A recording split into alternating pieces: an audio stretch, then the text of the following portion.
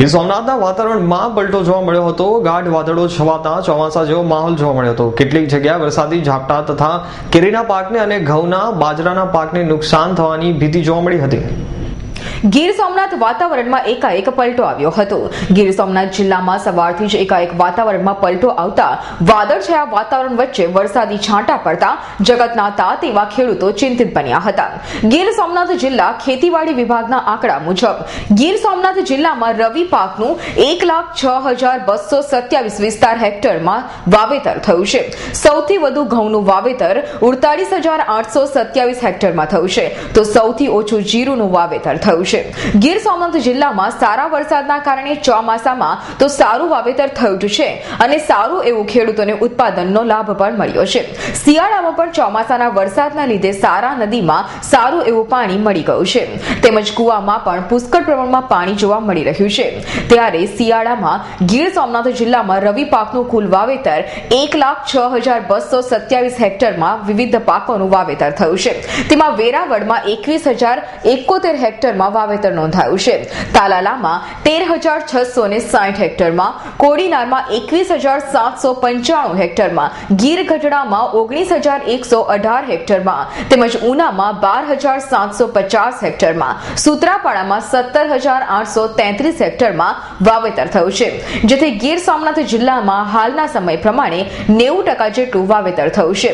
તેમાં ઘઉં, ઉડતાળીસ હજાર આઠસો સત્યાવીસ હેક્ટરમાં જુવાર, એક હજાર દસ હેક્ટરમાં મકાઈ ત્રણસો પંચ્યાસી હેક્ટરમાં, ધાન્ય અને બાજરી બે હજાર પાંચસો અઠ્યાસી હેક્ટરમાં. કઠોળના પાકો પાંચસો પચાસ હેક્ટરમાં, ચણા વીસ હજાર આડત્રીસ હેક્ટરમાં, રાઈ છાસઠ હેક્ટરમાં, શેરડી ચાર હજાર છસો ને ત્રેવીસ હેક્ટરમાં, ધાણા સાત હજાર બસો સાડત્રીસ હેક્ટરમાં, લસણ એક હજાર એકસો ને પાસઠ હેક્ટરમાં, ડુંગળી પાંચ હજાર સાતસો ને ચોર્યાસી હેક્ટરમાં અને શાકભાજી ત્રણ હજાર ત્રણસો ચોસઠ હેક્ટરમાં.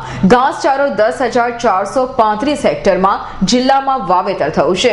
જિલ્લા પંચાયત ખેતીવાડીમાં આ આંકડા નોંધાયા છે. જિલ્લામાં સૌથી વધુ ઘઉંનું પાકનું વાવેતર ઉડતાલીસ હજાર આઠસો સત્યાવીસ હેક્ટરમાં નોંધાયો છે. વીસ હજાર આડત્રીસ હેક્ટરમાં ધાણાના પાકનું વાવેતર જિલ્લામાં થયું છે. જ્યારે સૌથી ઓછું જીરું છે જે એકસઠ હેક્ટરમાં નોંધાયું છે. ગીર સોમનાથ જિલ્લામાં ખરીફ ઋતુ, રવિ ઋતુ અને ઉનાળાની ઋતુમાં કુલ બે લાખ ત્રેપન હજાર સાતસો ને તેવીસ હેક્ટરમાં વિવિધ કૃષિ પાકનું વાવેતર કરવામાં આવે છે. ફળદ્રુપ અને પાણીથી ભરપૂર ખેતીવાડી જમીનમાં જિલ્લાભરમાં ઋતુ પ્રમાણે મગફળી, કપાસ, બાજરી, તલ, ઘાસચારો, શાકભાજી, શેરડી સહિતના વિવિધ પાકનું નોંધપાત્ર પ્રમાણમાં ઉત્પાદન કરી શકાય છે. જો કમોસમી વરસાદ અને વાતાવરણના પગલે રવિ પાકમાં નુકસાનની ભીતિ ખેડૂતોને સતાવી રહી છે અને જગતનો તાત હાલ તો ચિંતિત બન્યો છે. સોમનાથ જિલ્લાના બાદલ વેરાવળ તાલુકાના બાદલપરા ગામના રહેવાસી છે. હવે આવા કમોસમી. વરસાદના કારણે મોટું નુકસાન ખેડૂતોને થાય છે અને સરકારે કોઈ દી કોઈ સહાય આપેલ નથી. અને આપતા પણ નથી કે કોઈ જોવાય આવતા નથી.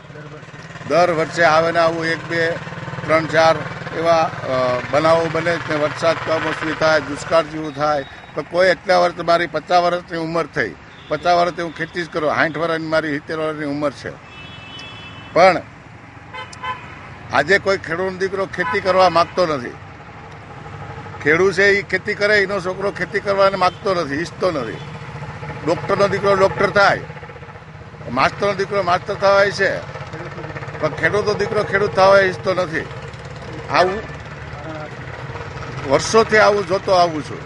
પણ અત્યારે એવું છે કે આ માંડવ્યું પણ જો પડ્યું, અમારા ગુડમમાં ભર્યા. કોઈ લેવાવાળા નથી, સરકાર સાપામાં બતાવે કે કેટલી એટલી મેટ્રિક ટન માંડવી ખરીદવાની છે ને એટલી ખરીદીશ ને.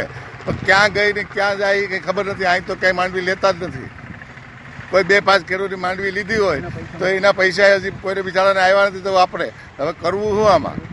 આ ખેડૂતના બાળકો પૈસાની ફી, પૈસા હોય કે ફી ભરવા હોય કે અમારા પોતાના છોકરા ભણવા જાય તો અમે ફી ભરી નથી ગયા.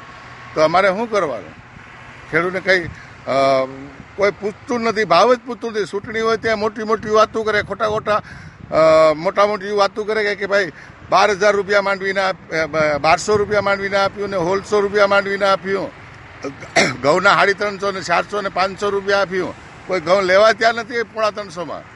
ત્રણસો, અઢીસો, ત્રણસોમાં કોઈ લેવા ત્યાં નથી. બાજરો તો કે બસો રૂપિયા, અઢીસો રૂપિયા કોઈ લેવા ત્યાં નથી.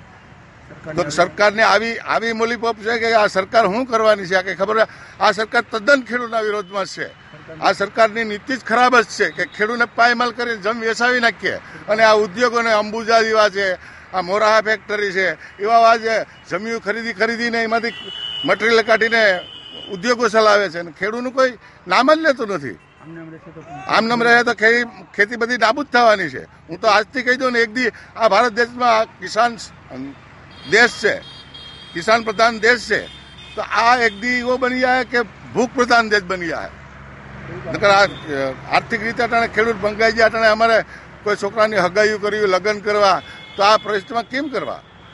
કોઈ અટાણે કોઈ કોઈ અમને ટેકો જતો નથી મદદ કરતો નથી. અત્યારે તો અમારી પોઝિશન ખેડૂતની બહુ ખરાબ છે, બધા નાના ખેડૂત છે. આગે હજી તો માંડવીના ટેકાના ભાવમાં અડધી ખરીદી પણ નથી, માંડવી પણ બગડે છે ને હળે છે. ત્યાં કુદરતી આ કમોસમી વરસાદ થયો છે. આ ઘઉંની હાલત જોઉં છો. અને ઘઉં, ચણા દાણા આ બધું ખેડૂત પાયમાલ થઈ ગયા છે. ખેડૂતને અત્યારે કોઈ આધાર જ નથી. આમાં ખેડૂત કોઈ પણ ભોગે ખેડૂતને સરકાર સહાય થાય એવી બધાની અપેક્ષા છે, બાકી ખેડૂતનો કોઈ આધાર નથી. ગીર સોમનાથ જિલ્લો. હું ખેડૂત છું. આ ઘઉં ને આ પાક બગડી ગયો. ચણા, બાજરો, સરકાર કંઈ પણ અમને સહાય આપે નમ્ર વિનંતી. આ કયા હિસાબથી પાક બગડ્યો તમારો? વરસાદ વરસાદને કમોસમી વરસાદ. આપણી અપેક્ષા શું છે? સરકાર કંઈ સહાય કરે? એવી અમારી અપેક્ષા છે. રાકેશ પરડવાનો રિપોર્ટ ગીર સોમનાથ.